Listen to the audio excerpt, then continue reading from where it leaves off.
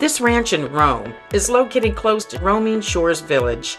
The floor plan offers three bedrooms and two and a half baths. The remodeled kitchen has white cabinets and a large island. The kitchen opens to the spacious living room. Enjoy lakefront living on multiple decks.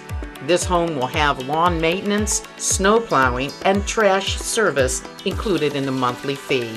For a private tour, contact the number one Century 21 team in the world by units, Asa Cox Homes.